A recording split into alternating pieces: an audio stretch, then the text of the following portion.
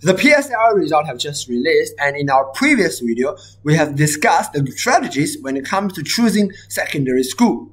And for this video today, I'd like to go into more detail about choosing secondary school if you have received AL4 to AL7 within this range.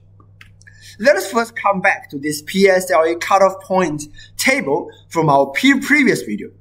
And since now we're talking about AL4 to AL7, then IP programs, the first eight IP programs, should be something that we're all after.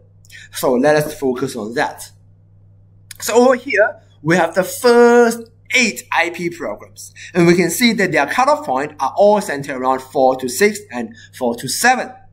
Now, what are the main differences between all these eight IP programs? And the answer is the final certification.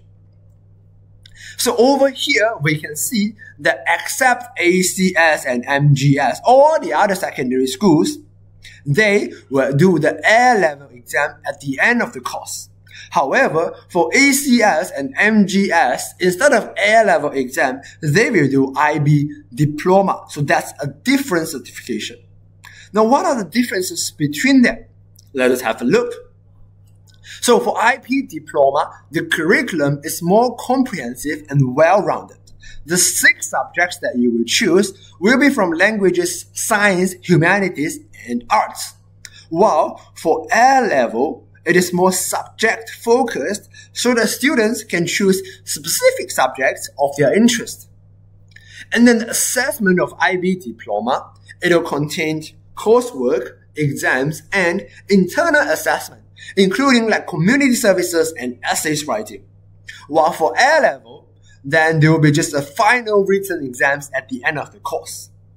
And coming back to IB diploma, the course load, like we just mentioned, is six subjects, containing three subjects at the higher level, and that is mandatory, and three at the standard level. While for A level, it is only three to four subjects. And so, so what does, what students are more suitable for IB diploma and what students are more suitable for A level? Well, here's a quick way for you to decide.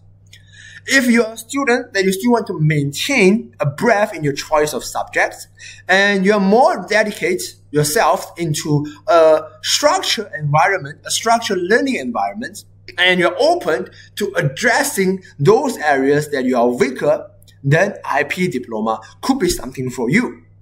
And for A level, it is more suitable for students that have a stronger focus on a specific subject and they want to capitalize their strength. However, this will require a, a stronger self-discipline because the coursework is more flexible.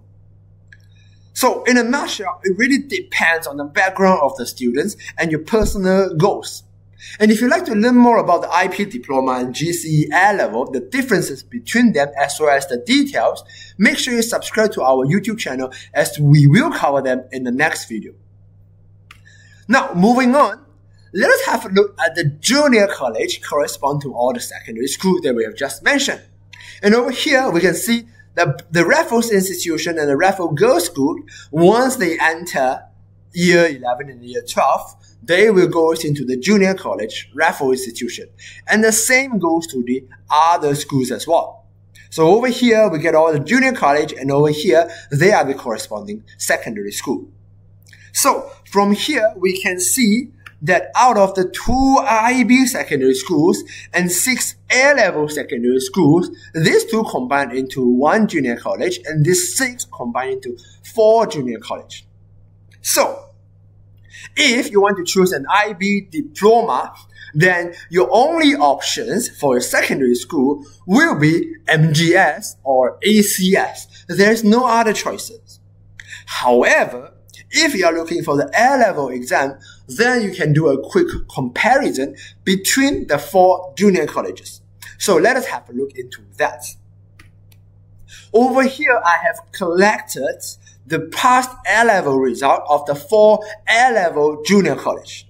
We have Raffles Institution, Hwa Chong Institution, Eunoia Junior College, and National Junior College.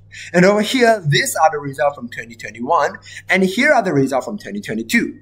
we have the mean, the median, the percentage of getting 90 RP, which means full marks in the A level, and the percentage of getting 80, 85 RP to 90 RP. So if you do a quick comparison between Raffles and Hwa Chong and the remaining two junior college, you can see that just from the mean and the, and the median, and as well as the percentage of the full mark, the full mark students, there is quite a significant difference.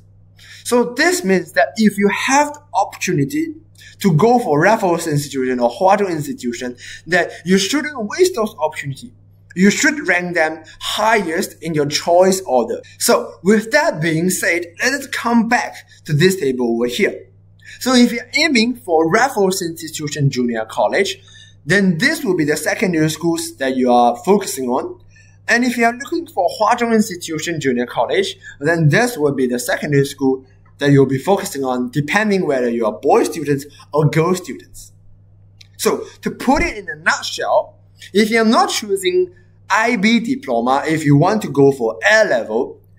Then for those students getting AL 6 to 7, we will recommend these two schools for you. While for those students getting AL 4 to 5, these are the secondary school that we will recommend for you.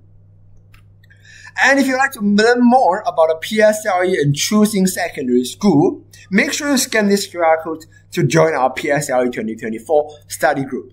Now that's it for today and I'll see you in our next video. Bye bye.